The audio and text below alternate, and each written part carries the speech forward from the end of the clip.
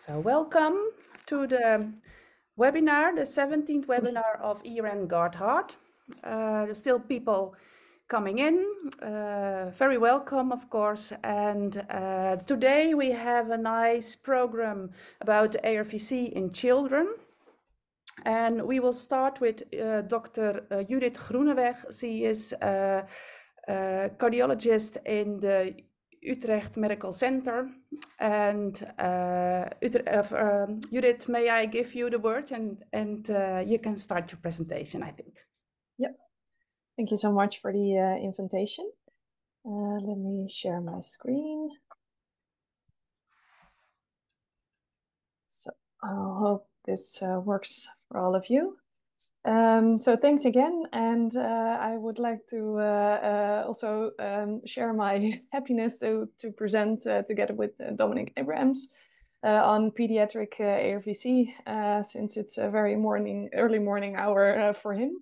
Um, and the theme of the webinar today is pediatric ARVC, and I will dive into the diagnosis and family screening part of it. And um, I'm not sure if I can see any hands or um, uh, so please feel free to interrupt me uh, when you have questions. And you can also use the chat uh, if you like to. Yeah, okay. Um, so this will be the outline uh, for today. Uh, after the introduction, I will share a case with you, um, which will lead us to the uh, diagnosis of ARVC in children, and, and I will uh, end the presentation with uh, some notes on uh, individualized family screening. Arrhythmogenic right ventricular cardiomyopathy, or uh, ARVC, or ARVDC, or ACM, uh, is, uh, as you probably all know, an inherited cardiomyopathy um, in which a genetic causal variant is found in approximately two thirds of cases um, mostly in desmosomal genes, and in the Netherlands, uh, it's mostly PKP2 mutations.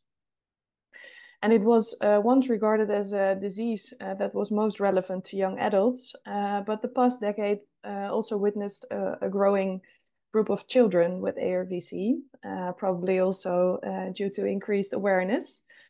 Um, and as you're probably also aware, uh, uh, arrhythmogenic uh, right ventricular cardiomyopathy predisposes to ventricular arrhythmias and sudden cardiac death. And particularly, this can occur in young individuals, as you can appreciate from the figure you see below in which the significant portion of uh, uh, sudden cardiac death occurs in the uh, individuals aged 11 um, to 20 years old and the um, the reason uh, or the the um, origin of the timing of disease onset uh, still remains elucidated, and I will come back to that shortly. So we all, uh, as uh, physicians, have a um, uh, a clinical dilemma in ARVC, um, since um, the uh, exact uh, risk assessment for the individual patient uh, remains a challenge. Uh, the disease has an autosomal dominant uh, inheritance pattern, um, and uh, diagnosis is uh, hampered by incomplete penetrance and variable expression. Um, and even in patients with known familial or genetic risk, early diagnosis and risk stratification therefore can be very difficult. Um, so we would like to know who develops disease uh, and who will experience uh, life-threatening arrhythmias. Um, and this problem uh, is even mo more apparent in uh, pediatric ARVC, uh, since knowledge on pediatric ARVC is uh, limited. And therefore, the, the answer to the question when to intervene and how, and determining safe but not too frequent follow-up still remains um, a question. So to start off with a case, um, uh, in our clinic there was a 15-year-old girl uh, who experienced a syncope while she was rushing to school. Um, she woke up lying on the ground next to her bike. Uh, she did not feel it coming, uh, um, had no symptoms uh, prior, uh, and she was alone, so she didn't know how long the syncope lasted.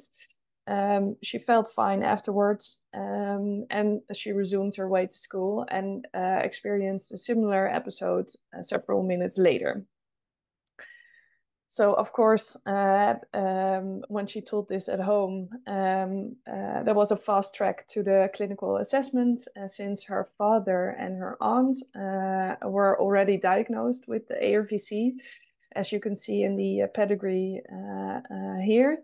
Um, and uh, she also had an uncle which died at uh, uh, 37 years old, uh, where there was no uh, autopsy performed. Um, and we all already knew that the ARVC in this family was caused by a, a PKP2 mutation. and as you can see here, the 14-year-old girl was one of four in her one of four siblings.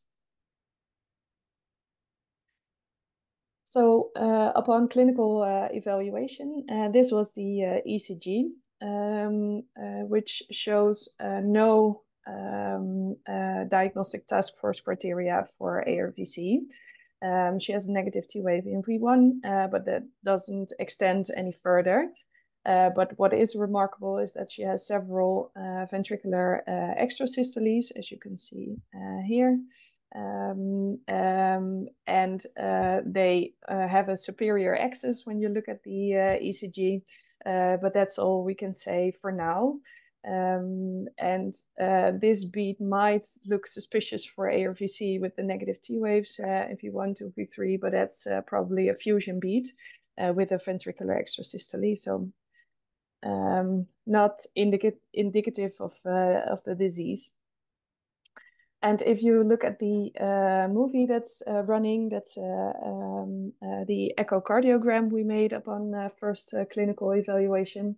Um, and as you can see, the images are yeah reasonable quality, um, but the RV doesn't appear very dilated, and regional wall motion abnormalities are very difficult to assess. but the left ventricular systolic function seems normal.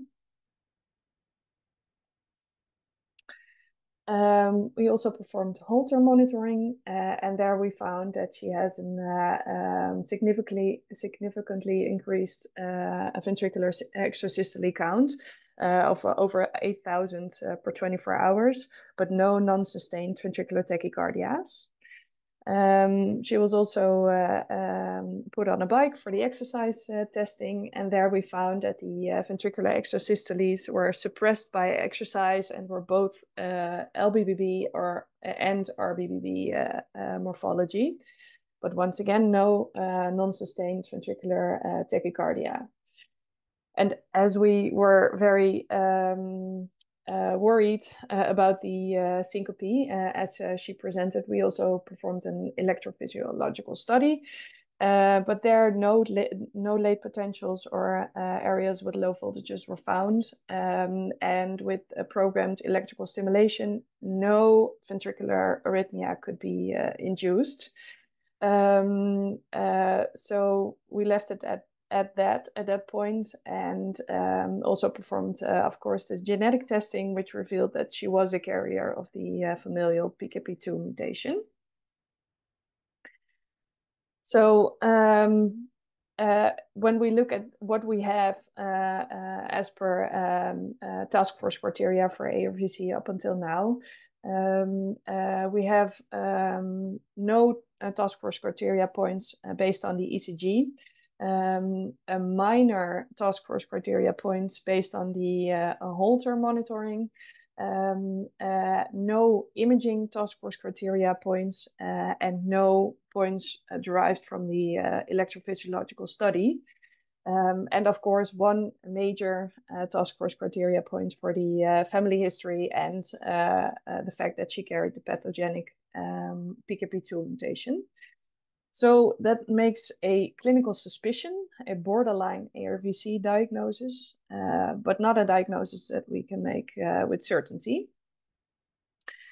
Um, so uh, after extensive discussion, of course, we decided to give her uh, uh, an, not yet an ICD, uh, but a very strict exercise restriction Um, and uh, within a short period of time, she uh, developed an overt, overt um, ARVC phenotype uh, with abnormal uh, ECG findings with a T wave inversion in V1 and V2, and um, a minor criterion on the uh, uh, CMR, um, of which you can see the images below which is moving very slowly, but then you can appreciate the uh, dyskinesia even better. Um, she was started on sotalol, and uh, uh, afterwards we uh, uh implanted an, uh, an ICD. And remarkably enough, um, she had uh, some runs of non-sustained VT, but not um, no ICD therapy up until now. And from 14 years of age, she's now well in her 30s and had two un uncomplicated pregnancies and continues to do well. So um, if we look at the uh, methods of how we're doing it now, diagnosing ARVC, we're using the um, uh, 2010 uh, task force criteria, which is a, a set of diagnostic criteria um, uh, of which you need um, uh, task force criteria points from different categories. So there's no one gold standard. You need to have several um, uh, category abnormalities to fulfill diagnosis. And you can make a definite diagnosis if you have four points um, and uh, a borderline diagnosis with three points, as uh, was uh, the case in our patient and two points for a possible uh, arrhythmogenic uh, cardiomyopathy for uh, ARVC diagnosis. So if we look at the challenges uh, there are with the use of the uh, task force criteria in uh, uh children, um, we know that the 2010 uh, task force criteria were derived using 108 probands with a mean age of 38 years, um, and only nine of them, 8%, were children. Um, uh, and on top of that, uh, ARVC is a very uh, rare disease, so uh, uh, it's always important to uh, keep alternative diagnosis in mind. Um, and there are also specific challenges in the pediatric population since the um, uh, repolarization criteria of negative T waves in precordial leads um, uh, exclude children under 14 years of age. Um, and that is because there's some evidence that um, uh, negative T waves in the precordial, in the right precordial leads occur uh, relatively often in children uh, under the age of 14 um, uh, of which you can see the predictors in the table three uh, below. So uh, an age below 14, um, an incomplete uh, uh, pubertal uh, development, and a very low BMI um, often results in negative T waves in the right precordial leads. And with regard to the imaging uh, criteria, um, uh, children have a physiologically uh, larger right ventricle. Um, and we know that there's a decrease in, in diastolic volume of the right ventricle of approximately 5% per decade. Um, uh, so uh, that means that children are um, um, are more prone to fulfill the imaging criteria when you don't correct for that. So it's important to keep uh, reference uh, values for uh, specific for children uh, in mind. So how do the task force criteria uh, uh, perform in pediatric cohorts? Um, uh, here I would like to focus on two uh, studies uh, that nicely uh, outline the phenotypic um, outcomes of ARVC in, in children. the first is a Canadian cohort of 142 pediatric patients that had a CMR um, using an indexed right ventricular end diastolic volume. Um, and in that cohort, 16% fulfilled criteria for a definite diagnosis, uh, 23% had a borderline diagnosis, 26 a possible uh, diagnosis, and 35% did not fulfill the diagnosis at all. Um, of the definite ARVC patients, the mean age was uh, nearly 12 years old, and 47%, uh, oh, uh, 70, 74% were male. Um, and in this cohort, the fulfillment of the uh, repolarization uh, criteria was relatively rare. Um, but the uh, fulfillment of CMR or imaging criteria was re relatively frequent, with nearly half of these definite diagnoses relying on CMR for diagnosis. And which was also a very remarkable finding was that the uh, fatty infiltration or fibrosis was relatively rare uh, in this uh, population. Um, uh, diagnosis was uh, those mainly uh, based on the increase in volume and the regional wall motion abnormalities. Um, and only four children had fibrofatty infiltration, and these were all children that had the definite diagnosis. The second study is a uh, study in a, a, uh, Dutch and a US cohort of uh, 502 definite uh, uh ARVC pediatric patients um, with a similar 15% uh, fulfilling definite diagnosis, um, but um, with a slightly older age, with a median age of 15, and 55% was male. And in this study, we also looked at phenotypic differences in uh, the pediatric versus the adult uh, population. And we found that the mode of presentation um, uh, was different. So, uh, children um, more frequently present with sudden cardiac death or resuscitated uh, sudden cardiac arrest, as you can appreciate uh, below whereas um, uh, the adult, adult population more frequently presents with a uh, sustained uh, monomorphic ventricular tachycardia. Um, but if we uh, look at the um, uh, frequency and distribution of uh, task force criteria, we find that we found that um, that was rather similar. So the mode of presentation seems different, but the phenotype after diagnosis or after presentation uh, seems similar between pediatric and uh, uh, adult cases. Um, and uh, if we look at the um, uh, clinical course uh, during a follow-up of around eight years, around eight years, we found that they had a similar uh, clinical course and outcome uh, with regard to ventricular arrhythmias, uh, cardiac transplantation, or cardiac death.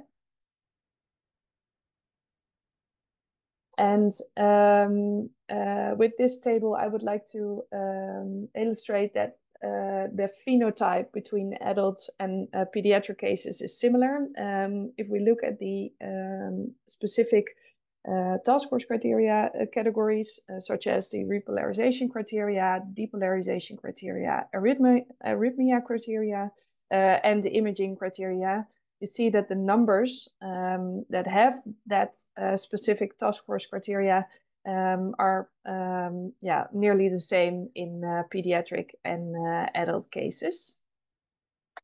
So the mode of presentation uh, seems to be different, but the uh, overall phenotype afterwards uh, is the same.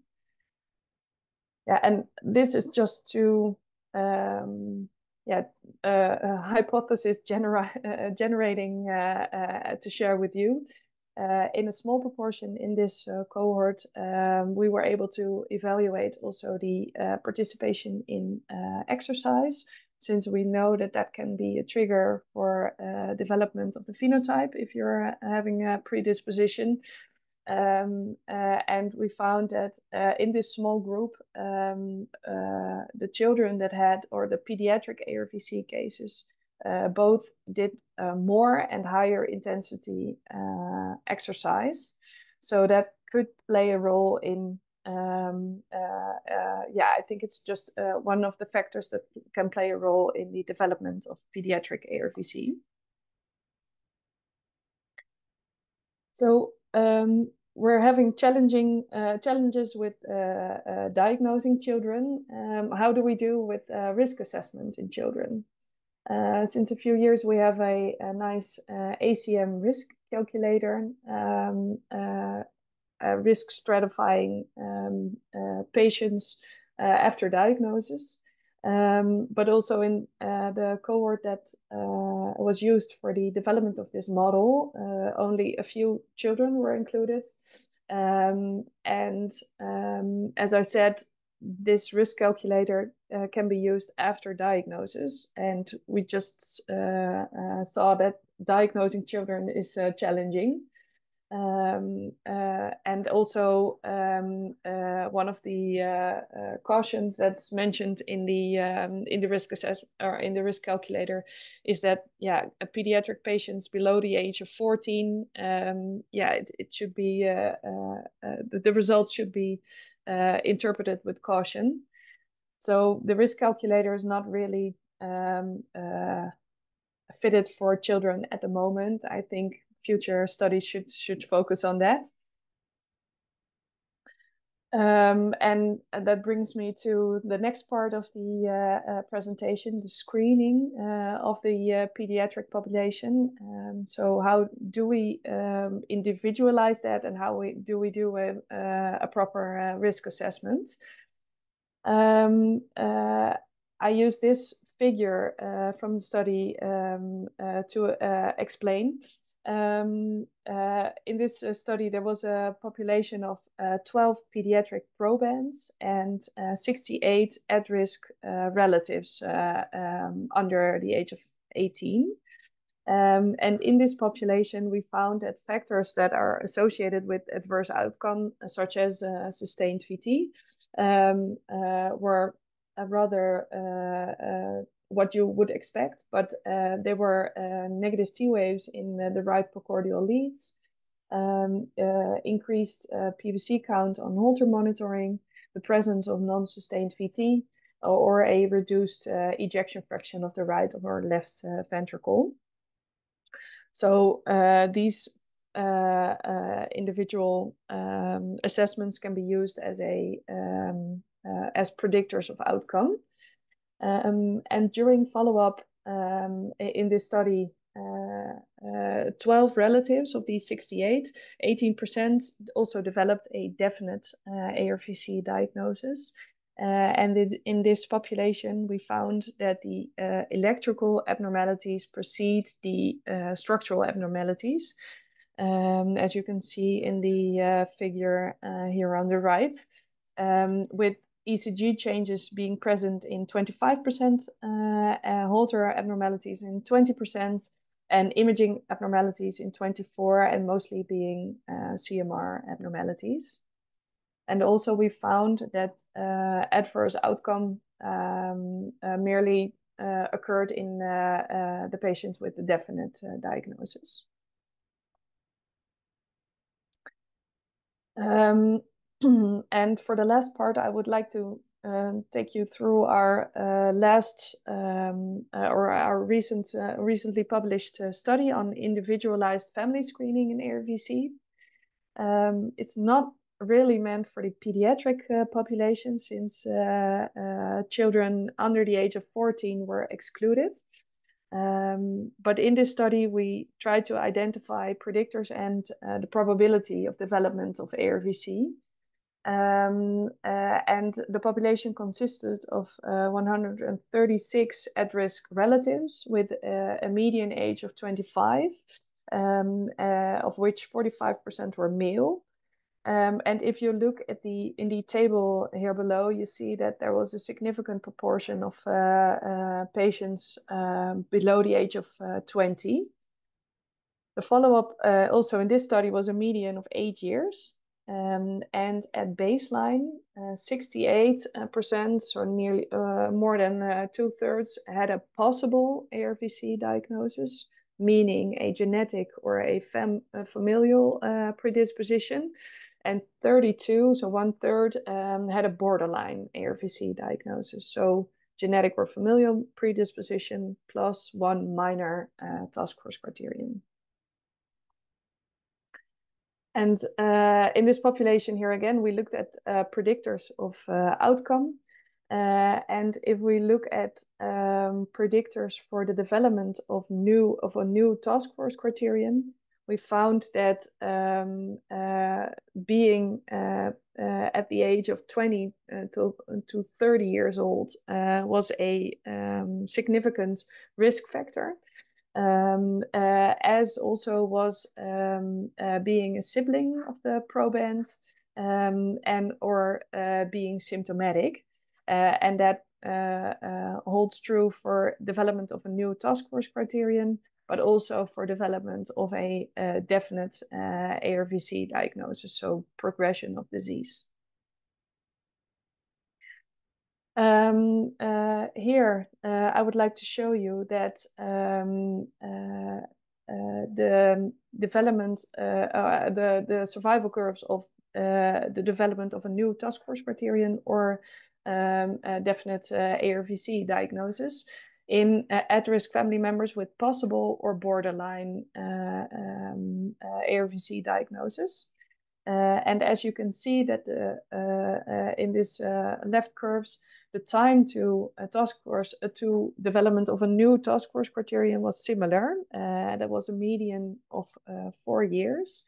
Um, and yeah, that suggests that there's a comparable rate of uh, this uh, disease progression, uh, regardless of your um, baseline clinical phenotype. And um, uh, if you look at the development of definite ARVC, uh, Uh, you see that uh, uh relatives with uh, a borderline ARVC progressed more rapidly to definite ARVC diagnosis, which seems logical since you're already having more task force criteria. I'm nearly uh, at the end of my presentation. um, so we translated that to um, uh, a uh, to recommendations uh, on uh, family screening uh, on an individual basis in ARVC. Um, so who sh should you screen? all relatives at risk, um, and be aware if a patient is symptomatic or between the age of 20 to 30 years old. Um, uh, when should you screen? Well, possible ARVC progresses, uh, the disease progresses slowly. So if you have a possible ARVC, um, you have more time. You can have a larger interval in screening. If you have a borderline ARVC, you should see. We think you should screen them yearly or uh, make a shared decision uh, on uh, when to screen. Um, and um, we think that um, ECG and Holter monitoring are um, uh, a prerequisite um, since uh, electrical abnormalities precede structural abnormalities, uh, and imaging uh, should also be uh, performed at uh, regular intervals. so, if you have a possible ARVC diagnosis, you can start with the screening of the ECG and the Holter monitoring and perform imaging, for instance every four uh, uh, every five years, uh, and I think the um, preference goes to an, performing a CMR.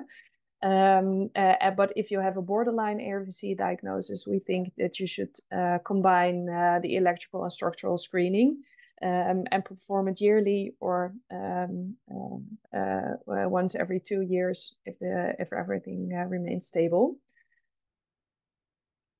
So to conclude uh, this part of the webinar, um, ARVC is an important cause of uh, sudden cardiac death among uh, young individuals. Um, uh, beware of the uh, challenging uh, in the diagnosis of children. Um, the incomplete penetrance and variable um, expression complicate family screening. Um, but also here focus on the symptomatic siblings since they are at most risk um, uh, and keep the exercise uh, participation uh, in mind. And if you, for, for, individual family screening, we recommend to do um, screening based on the baseline clinical phenotype. So whether you have a borderline or possible ARVC, um, uh, if you have symptoms or uh, uh, if you're between the age of 20 to 30, you should screen more often.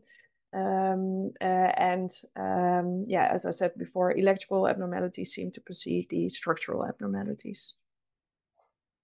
Thank you very much for your attention. And um, I don't know if we have time for questions or we do it in the end. Maybe we do it at the end. In, indeed, time flies sure. already. Yeah. Uh, thank you, Judith, thank for a you. very clear overview. And I think we should continue with the presentation of Dr. Dominic Abrams from the Boston Children's Hospital. Welcome to you as well, of course. And uh, uh, yes, you can take the floor, please. Stop sharing.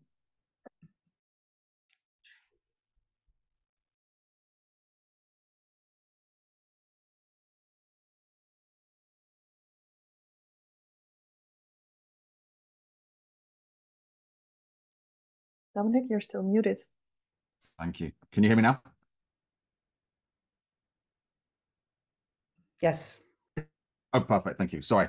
My apologies. So thank you very much for the very kind invitation. Um, it's a pleasure to be here. Really enjoyed Judith's conversation. And then um, I'm going to expand on what you've just heard and sort of really talk more about the phenotype and the outcomes of pediatric ARVC and to think about um, the highly varied expressivity we see in young patients. And I think that's always true of any genetic disorder in the younger population. You're going to see a very sort of different um, expressivity in many ways to the adults, but of course, there's a lot of similarity as well. Just to flag my disclosures, I'm a consultant for Rocket Pharmaceuticals who are involved in this condition. So just to sort of think about the definitions, obviously we now think of the phenotype of arrhythmogenic cardiomyopathy more broadly of sort of the classical right form of the condition, biventricular and the left dominant. So I'm going to speak very much about arrhythmogenic right ventricular cardiomyopathy. This is the classic form of the disease um, where the right ventricular changes predominate, and we see that reflected in the ECG changes in leads V1 to V3, right ventricular VT, and then as time goes on, right ventricular dysfunction and dilatation. And of course, as we know, this can progress uh, in certain individuals to become more biventricular in its involvement. But what I'm not going to discuss today is the left ventricular form of the disease, which we're sort of increasingly understanding is phenotypically very different. So this was the sort of form that was first described. This is a paper from the Paris group, I think back in the 1980s, uh, this concept of right ventricular dysplasia before it was understood that this was a genetic etiology of a cardiomyopathy but showed all the classic features here on old um, right ventriculogram and the ECG changes, and were subsequently related uh, initially in the desmosome to the protein uh, PK, plakophilin 2 uh, and the gene PKP2, which is by far the most common genetic etiology of arrhythmogenic cardiomyopathy. So that's very much what I'm going to focus on uh, today.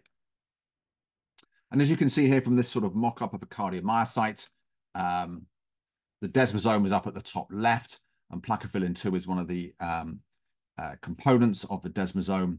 And as I said, is the most key component when we think about the etiology of ARVC, uh, representing usually about 45% of all comers and about 67% of those with a genetic etiology. So I think just two important points to raise at the beginning in terms of thinking about uh, the diagnosis of ARVC. On the left is a study that we conducted with the UK Biobank, which found that the prevalence of, of PKP2 truncating variants is about one in a thousand. So these are not desperately uncommon. Um, Titin we think of as much more common, maybe about one in a hundred, but PKP2 is one in a thousand. So they're all out there. But interestingly, the vast majority of these, certainly when you look at the population, do not seem to lead to a diagnosis of ARVC, the odds ratio was only 5%.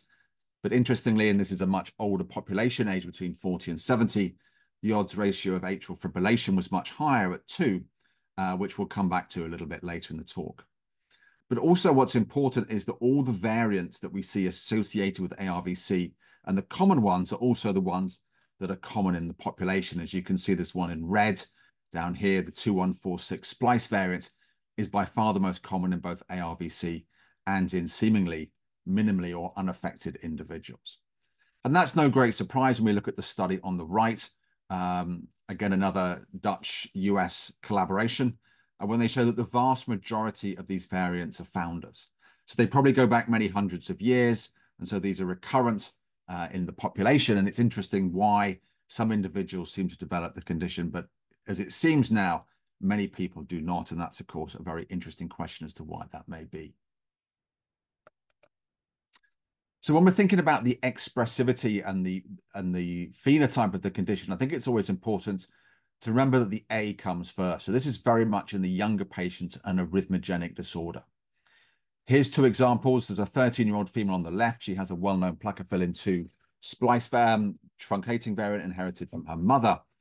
And you can see at the age of 13, her ECG is relatively unremarkable. She has, you could argue, abnormal T waves in V2 and V3, but she's under 14, so it's difficult to interpret those uh, with any robust conclusions. But what you can see at the bottom is that the evolution of her disease really is driven by ventricular ectopy detected on the Holter. So in 2021, she had just over 300. Two years later, she had 2,000 PVCs, which evolve from sort of just single isolated beats into couplets and then couplets and triplets. So you could argue that in 2021, although she doesn't fulfill any task force criteria apart from being at risk by virtue of her genetic status, those 323 VPPs may be the early emergence of the disease that we're beginning to see. And on the right, a slightly older patient. She's a proband, not a family member, which we think of as somewhat different. Uh, she's 15. You can see clear T-wave inversion from V1 to V3, and this complex ventricular ectopy with a sort of a bidirectional couplet there and very different morphologies.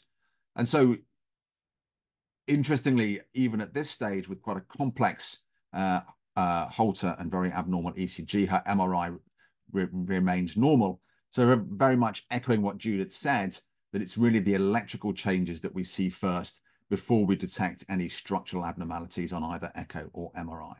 So in early patients, this is very much a disorder of arrhythmias. And two studies many years apart came to sort of very interestingly and similar conclusions that in young patients, the arrhythmic risk related to sudden death and cardiac arrest seems very much higher. Um, at the top left, there was a study from Italy which showed that patients with young patients with ARVC are at higher risk of life-threatening arrhythmias, and that was reinforced by Anneline te Riele's paper some years later, which Judith already alluded to, that the risk of sudden cardiac death and cardiac arrest is much higher. The reasons behind that have never been definitively shown, but the way we always think about it here is that in young patients with relatively healthy myocardium, you've got the, the, the potential for much more rapid transmission of a ventricular arrhythmia. And if you look on the right, this is a patient I looked after in London. Uh, I met him in 2009 when he was much older, but he presented in the mid 80s with fairly rapid VT. And you can see from the 12 lead ECG on the right, a relatively unimpaired ECG. And by the time he was 54, his v v v VT was much slower and more stable. And he now has all the classic changes in the anterior precordial leads that we associate with the disease. So a very sort of nice illustration of the evolution of the speed that VT can conduct as patients get older. And of course, he was 30 when this uh, started, not in his teens. And again, two examples on the left, again, of this very rapid, um, at the top, monomorphic, and at the bottom, slightly polymorphic VT in younger individuals. Um, the top patient presented with recurrent syncope. All his other uh, investigations were completely normal. Um, and this sort of raises the potential for this concept of the concealed etiology of the disease, this early phase when all we really see is these very rapid arrhythmias before the onset of any of the classical ECG or structural changes that we associate with the disease as it gets more uh, advanced. Um, he really had nothing else to find and has not developed anything really since. Interestingly, he's got a PKP2 missense variant, which has been identified before, but I think there has to be some sort of question mark over that. The younger patient had a more um, obvious ECG appearance, but again, you can see this very, very rapid VT. And not surprisingly, when you have ET, uh, an, an, an arrhythmic etiology in isolation, this can be misdiagnosed, particularly given the association that we sometimes see with exercise on the stress test. And therefore, this has been misdiagnosed as CPVT. And you can see this study on the right uh, from Mike Ackerman's group at the Mayo of patients who were considered to have CPVT, but ultimately were diagnosed as, as having ARVC. And many of them went on to develop more overt features of the disease as they got older.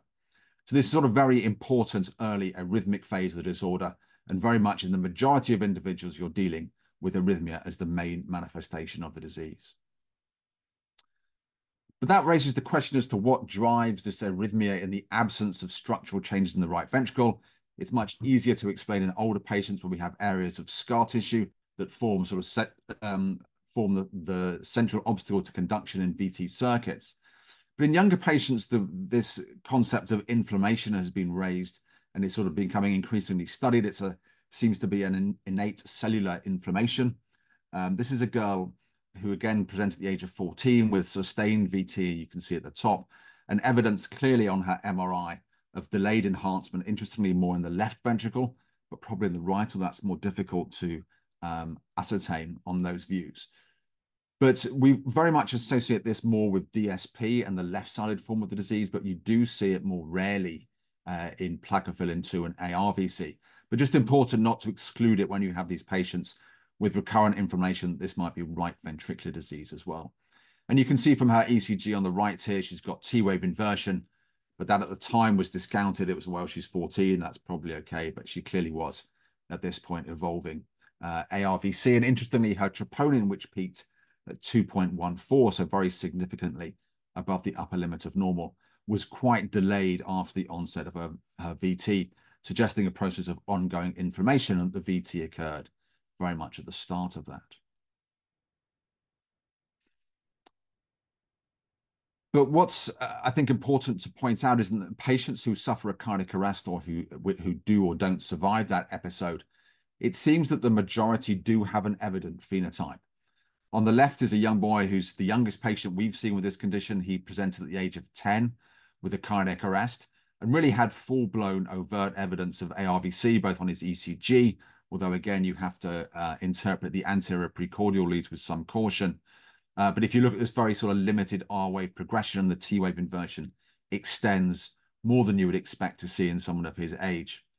He had two variants, a very well-known one in plakophilin 2 and a less well-known one in DSC2. And it seems to be the PKP2 one that's driving the disease in the family. But interestingly, his mother, who is minimally affected, and his uncle, who is unaffected, uh, both much later in life, also um, have the same two variants identified. And this girl on the right, who sadly didn't survive a cardiac arrest, you can see the classic pathological and histological features of the disease. Uh, the transillumination sign suggesting that the right ventricular wall is very thinned. And then on histology, transmural infiltration of the right ventricular myocardium. So sort of very classic feature of the disease. So patients who do seem to die suddenly do have overt findings at autopsy. And again, the paper from Anneline te Riele some uh, nine years ago showed that in seven cases who died suddenly with autopsy performed, there was structural disease in, in six, sorry, not seven, and inflammatory changes in one, again, enforcing the importance of inflammation in this disorder as well. Heart failure is also a recognized feature. It's thought of as much more as an end stage phenomenon where the disease has burnt out. But on the left here, this is a patient who presented at the age of 15. As you can see, he's got advanced biventricular disease. There's a thrombus in the apex of the left ventricle. And he progressed rapidly. He went on to a ventricular assist device and was transplanted shortly thereafter. And again, you can see from the histology and the pathology, very advanced disease. He was found to have a single plakophilin 2 splice variant. Um, we would classically associate that with ARVC, but it was unusual to see such a severe form of heart failure in someone with this ge genetic predisposition. But he was there. We assumed he was the proband, and therefore this may um, explain why he presented with such a severe form of the condition so young. But interestingly, I met his sister recently. She's on the right here. She's now in her 30s. She's got, as you can see, a fairly classic ECG, uh, had had an ICD implanted elsewhere and was having runs of, of VT terminated by ATP. Uh, but it turns out that she actually presented relatively young in life. And so she in this family is the proband. And this young man, in fact, is a family member. So as Judith said, siblings seem to be at higher risk, but also the expressivity can be highly varied in families and important to understand and to acknowledge that family members can also present at a young age with severe disease. The expressivity again can be very um, varied. This is, a, I think, a very unusual case, but one important just to raise. This is a young girl I met at the age of six. Uh, she had two plakophilin variants, a, um, a frameshift variant, and then a well-known uh, missense variant, which is probably acts as a modifier in this situation. But she first came to medical attention when she presented with severe neonatal left ventricular failure or ventricular failure and required five days of ECMO. And it was noticed as she recovered, she had this hypertrabeculated pattern that you can see here on her echo uh, and on the MRI on the right. She had a sort of a gradual improvement in ventricular function over time, but interestingly, her brother in the in the interim presented with VT at the age of seven and very sadly died um, on a VAD after that. Um, importantly, both parents were completely asymptomatic. We always associate, or traditionally we've associated this inflammation as a very early part of the condition, the sort of triggering, if you like, of the disease evolution. But she, when she had quite advanced biventricular dysfunction at the age of eight, also presented with episodes of inflammation and then was transplanted at the age of nine. So I think importantly in her case, inflammation can occur at any stage of the condition. And also this pattern of hy hypertrabeculation can be seen with plakophilin 2 mediated ARVC as it can with many other things. So don't always think that this is purely a hypertrabeculated uh, LV. It can be associated with right ventricular changes as well. And we know some sort of past mouse studies that plakophilin 2 can be very sort of importantly implicated in uh, morphogenesis of the heart, which may explain this pattern of hypertrabeculation in the patient with biallelic uh, risk factors and getting even uh, less common, I think it's fair to say, this is a girl who is homozygous for a plakophilin 2 truncating frameshift variant, or a plakophilin 2 frameshift variant. Um, I believe she's the only one who survived in animal models. It's neonatal lethal.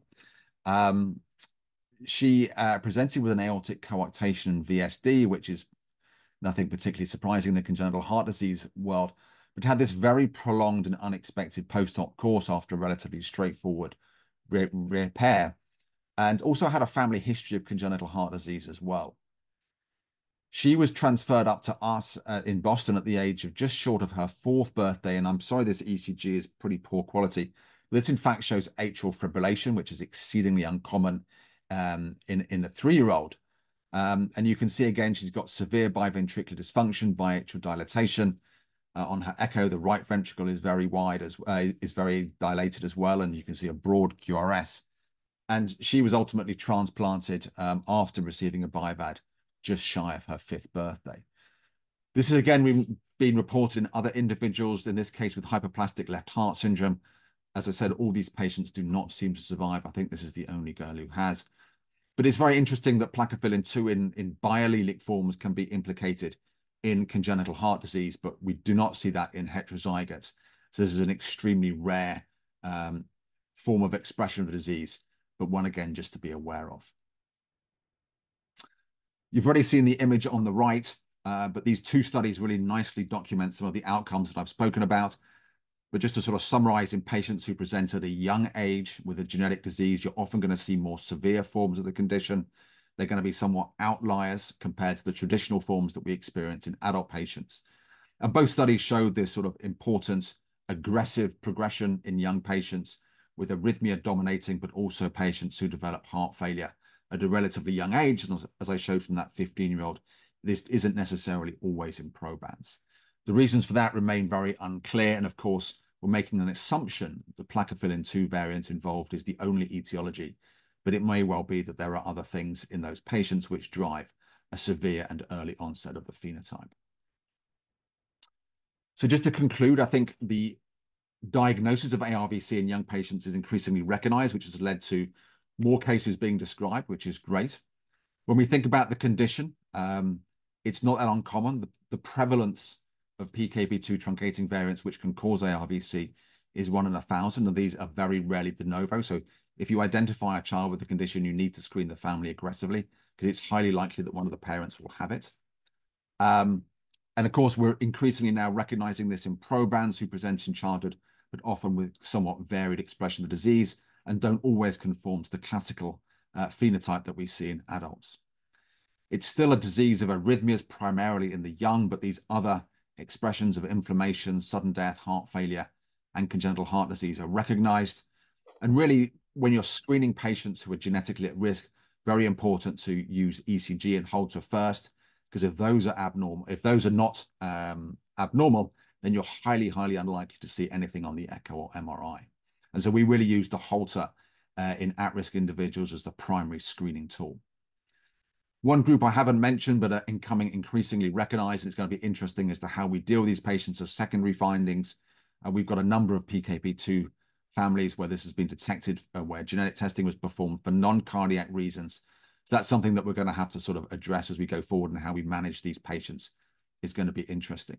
And I think sort of in many ways, you could say that these patients are a real unique opportunity to sort of understand the genetically at-risk population more broadly, because of course, historically, we've been very driven by the patients that we ascertain through medical conditions and not those who are out there in the populations. This is going to help us better define the wider phenotype and outcomes of those who are genetically at risk. I'm able to work with a fantastic team just to acknowledge all of them uh, who've been very important in all the work we do. And once again, thank you very much for the incredibly kind invitation. It was a pleasure uh, to be part of this today. So thank you. Thank you, Dominic, for this very nice uh, and, and also impressive uh, cases you shared with us. Uh, I think we had two questions in the chat. Maybe we can go to that.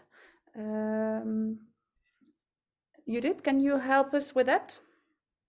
Um, yeah, there's See the uh, questions from Marta Catona. yeah. Um, um, just stating stating that I'm an adult cardiologist, so probably Dominic uh, is the best uh, expert to uh, to answer the question. The, the question is there's a, a positive family history of ARVC. Father has been resuscitated and lives in an ICD. The cardiac uh, MRI uh, is normal in the case of a six year old daughter. Would you repeat the MRI and some years later in her case? Um, uh, yes, I uh, would uh, definitely do that. And I think if she just has a possible uh, ARVC, um, then you could um, hold on to an interval of five years, for example but I'm not sure what Dominic thinks. you know, I would agree. I think, but I, I think as I would really, we find the Holter is probably the most helpful thing to see the first emergence of the condition. She's obviously at risk by virtue of the family history, but if you can prove this is PKP2 as well, then even more um, important. And then you probably that's the first thing that you're going to see changing. Obviously, it's much more difficult to do an MRI in someone this age. So that's what I would really be focusing on. But as Judith said, you're going to want to repeat the imaging um, but probably you can wait for some years before you do that again. Thank you. And then we have a question from Ruth Biller. She is our patient representative um, in the ARVC group. And uh, she asks about the advice for sports and, and maybe also restrictions in sports. Uh, Dominic, can you tell us something about that? What would you advise? Um, so we have very honest discussions with all the families, um, explaining the association between particularly plakophilin 2 and exercise. Um, but I think it's also important to acknowledge that there are many patients out there, as I alluded to, with plakophilin 2 truncating variants who don't seem to have the condition.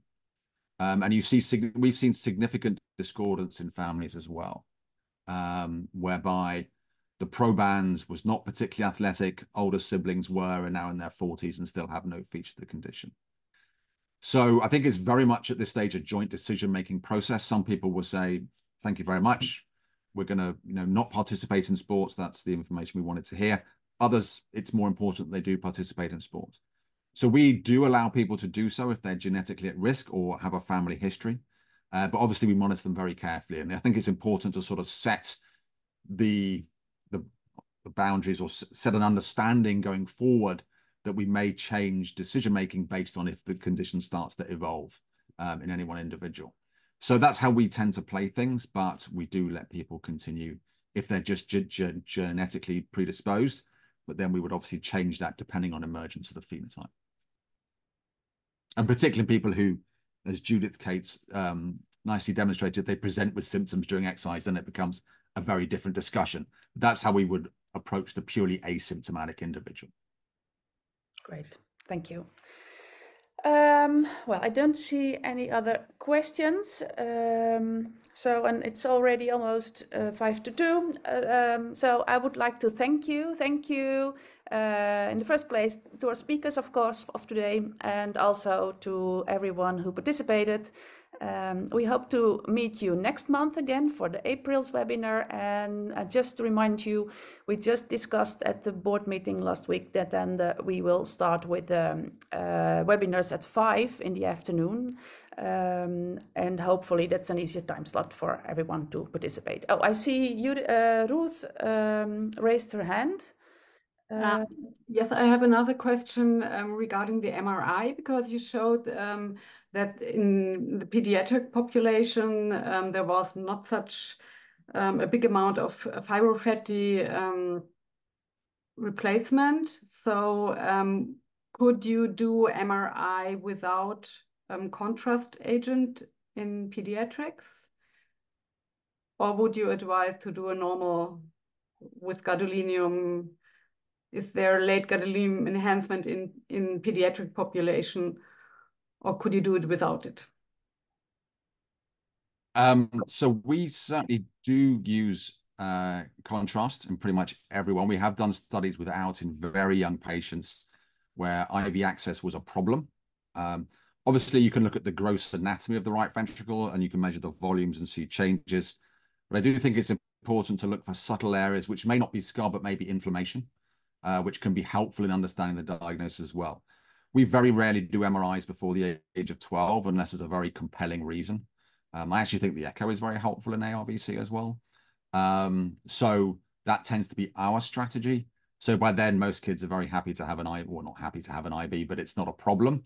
Um, so then we can just do a very straightforward standard MRI. That's the way we've approached it. Thanks. Okay. Thanks again. Uh, Thank you. See you next month in the next webinar. Bye bye.